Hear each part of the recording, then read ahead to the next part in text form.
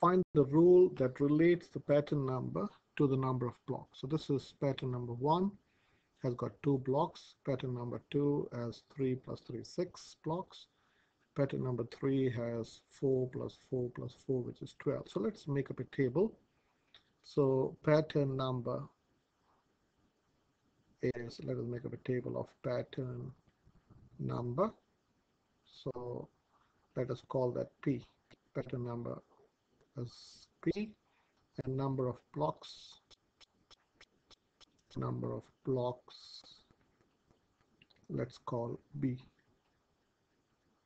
So let's make up a table so we know the first pattern has got one two blocks. The second pa pattern has got 3 plus 3 which has got 6 block. The third pattern has got 4 8 12 now this is not a linear pattern this is not going in a constant manner. So what do I mean by that? See, this is increasing by 4. This is increasing by 4. Then this is increasing by 6. So the next number, suppose if you continue the pattern, 4, this should be increasing by 8. So we'll check that. This should now increase by 8. So this should be 20. So let's check it. So you can see you got two at the bottom, three at the bottom, four at the bottom. So now you'll you should have five at the bottom. So let me draw a line. And then you got five five rows. Okay, so let me call say. So you got one row. Okay, you got two rows, you got three rows. Now you'll have four rows and you got two blocks at the bottom and one row. Okay so let me finish it off. So you got uh, one two three four. So now you should have five. So let me one two three four five. Okay so let me delete this. Okay. And then you have you got one two three four five and you got four rows. One two three four. Okay. So here you got 5 10 15 20 okay. So let's plot this to also show you a graphical understanding. So pattern. So let me call p for pattern number. This is pattern number p and this is a b for number of blocks. So this is on x-axis we are taking pattern number. On the y-axis we are taking blocks. So one the first pattern has two blocks. So this is 1 comma 2. The second pattern has got six blocks, so 6 would come here. The third pattern has got 12. Okay, and the fourth would have is has got 20. So if you join it, let us do to a dotted line. Let us join it by dotted line. You can understand this is not a straight line this is increasing in a steep manner. So this is a curved line. Mathematically, you can't join it, but only to show you it is increasing in a steep manner. So this is a curve. So this is not a, a linear pattern, this is a quadratic pattern. Okay, so now to understand the quadratic pattern, a quadratic pattern would be multiplication of two numbers. So what do I mean by that? So this 2 can I write as 1 times 2. 1 times 2 is 2. This is 2 times 3. This is uh, 3 times 4. And this is 4 times 5. So I want you to focus on 1, 2, 3, and 4. What are they? If you look carefully, the, this stands for the pattern number. So to get the number of blocks is the pattern number times the next number. Okay, so for, for the second pattern, it will be uh, the pattern number that is 2 times the next number. So if you continue the pattern, the fifth would be the fifth would be the pattern number. So let me write it. The pattern number times 6 which is 30 and it does make sense now. So this is increasing by 4 4 this is increasing by 6 this is increasing by 8 and now it's increasing by 10 the next pattern so the, if you go to the sixth pattern you will have this should increasing by 12 so that should be 42 and 42 does make sense. It is 6 times 7 this is 6 times 7 so what's the rule between pattern number and number of blocks?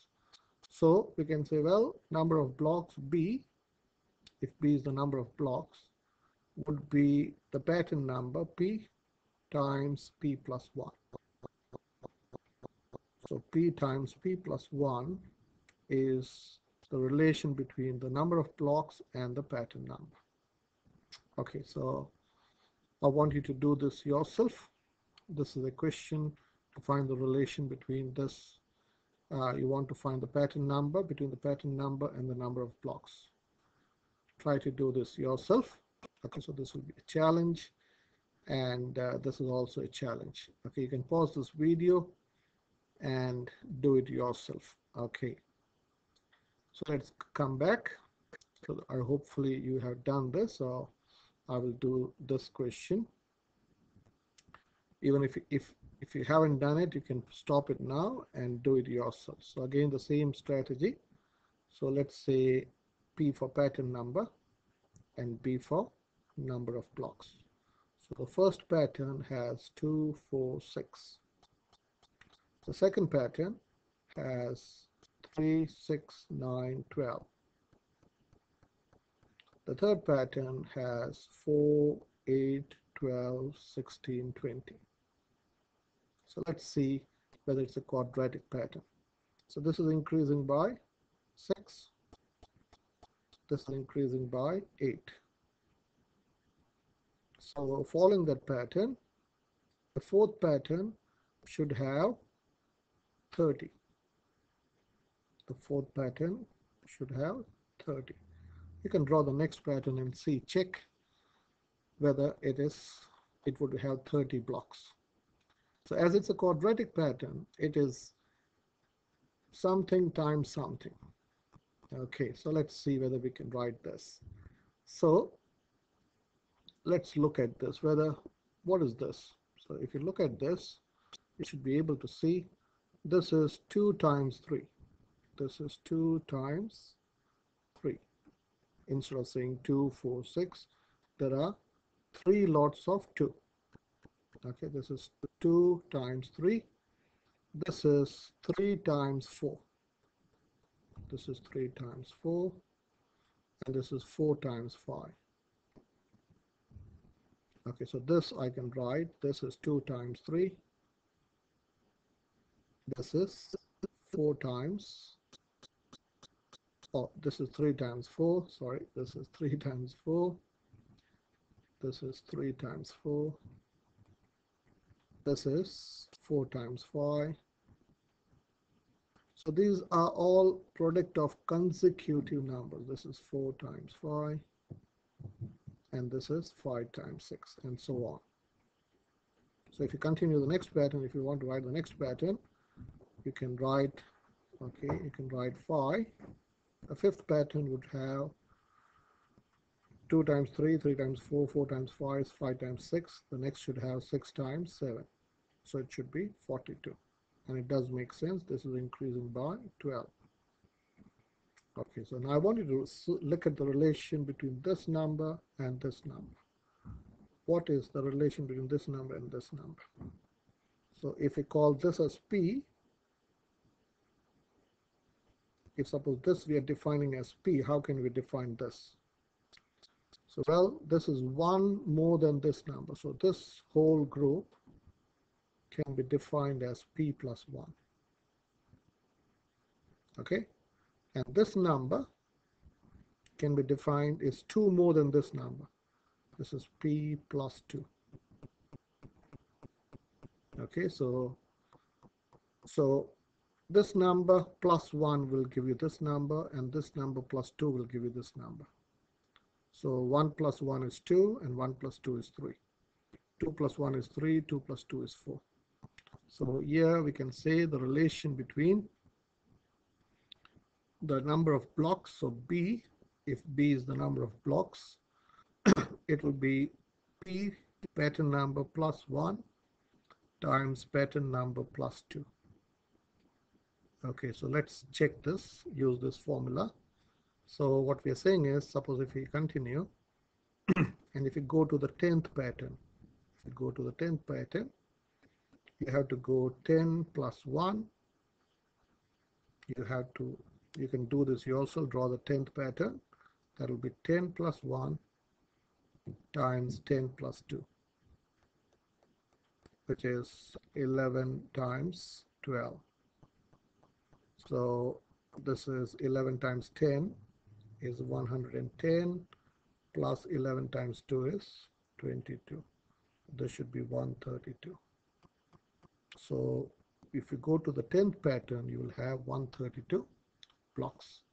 So this is the last question. I want you to, this is a challenge. I'm not doing this. So this is something that you need to find. What's the relation between the pattern number and coins?